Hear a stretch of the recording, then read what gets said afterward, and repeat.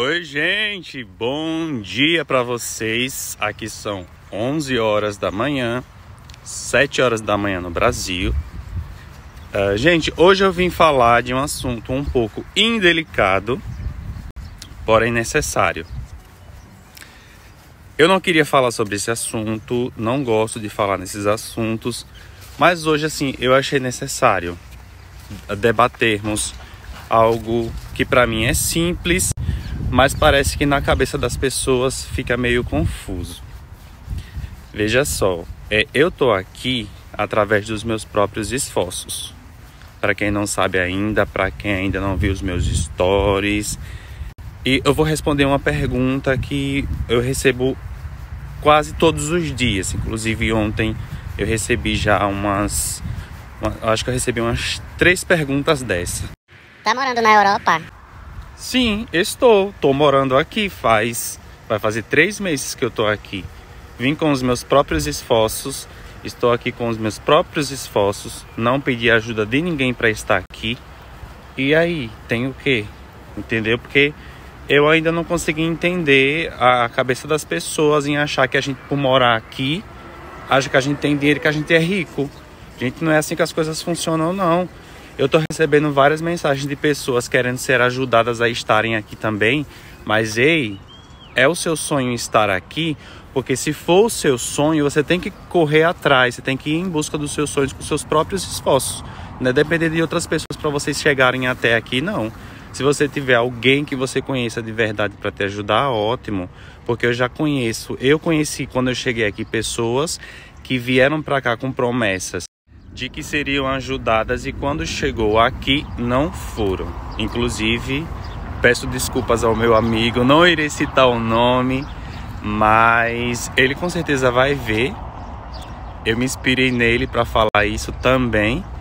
É, ele veio para cá com uma promessa de uma amiga que realmente ele considerava como amiga e quando chegou aqui simplesmente a amiga não foi pegar ele no aeroporto, não deu moradia, não deu assistência. E o que foi que ele fez? Teve que dormir na rua. Literalmente na rua. E contar com a ajuda de outras pessoas. Porque é assim, gente, eu vou dizer uma verdade para vocês. Brasileiro não ajuda brasileiro. Bota uma coisa na sua cabeça. É mais fácil um português, um estrangeiro ajudar você do que um brasileiro. Sabe por quê? Porque brasileiro, enquanto você está no mesmo patamar, tá ótimo. Mas quando você sobe um pequeno nível a mais do que ele, aí pronto, meu filho, já vira o ritmo ragatanga, porque brasileiro é assim. Brasileiro, enquanto você tá no mesmo patamar ou abaixo dele, isso para ele tá ótimo. Mas quando você sobe um, um pontinho, um nível só a mais, aí pronto, meu filho, vira o ritmo ragatanga. Então, o meu conselho é: quer vir para a Europa? Venha, mas venha ciente de uma coisa: que o seu amigo, primeiramente, é Deus e o seu dinheiro. Você precisa trazer uma reserva de dinheiro para cá. Não venha confiando na ajuda de ninguém, não. E outra coisa, ninguém aqui é obrigado a ajudar você. Já começa por aí. Segundo, vem, ótimo, pesquise. Faça pesquisa, veja suas reservas de hotel, estadia, comida. Ve... Pesquise tudo. Gente, de modo geral, pesquise tudo. Não fique esperando a ajuda de ninguém, não, porque isso é feio.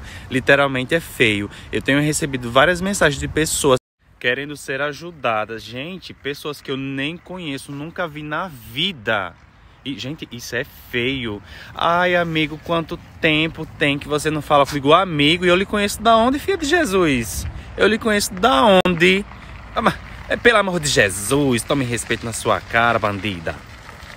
Pessoas que eu nem conheço, que nunca vi na minha vida Vem me chamar de amigo? Como assim, Brasil? Acorde. Gente, a realidade é essa. É seu sonho vir para fora, sair, pra, sair do Brasil, vir para a Europa? Ótimo. Se for seu sonho, eu lhe digo um, uma verdade: lute por ele que você vai conseguir. Mas só cuidado para você não viver o sonho dos outros, porque às vezes você vê alguém uh, se dando muito bem aqui e aí você começa a sonhar o sonho dele, que não é nem o seu. Aí quando você chega aqui, você quebra a cara, porque você vai ver que quando você chegar aqui, aquela realidade que você tanto sonhou que não era o seu sonho, se torna um pesadelo. Então esse é o conselho que eu te dou. Pesquise muito antes de vir pra cá e veja se realmente é o seu sonho ou se não é o sonho do outro, viu, bandida? Gente, não é por nada não, mas hoje eu acordei virado. Eu vou até vir pelo lado de cá. Hoje eu acordei virado!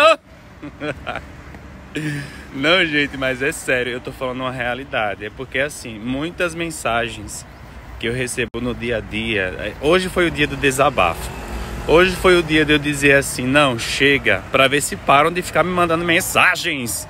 Essas mensagens indesejadas. Ora, bolas. Eu não aguento isso, não. Eu não aguento isso, não. Deixa eu aproveitar o meu domingo. Deixa eu aproveitar o meu dia. E hoje tá frio, gente. Ô, gente, aqui, aqui é assim, ó. Um dia tá quente, outro dia tá frio. Eita, cabaré de salete. Pol...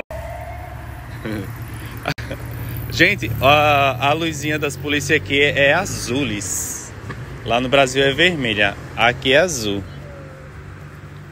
Eu acho tão chique a cor azul. Não é por nada não.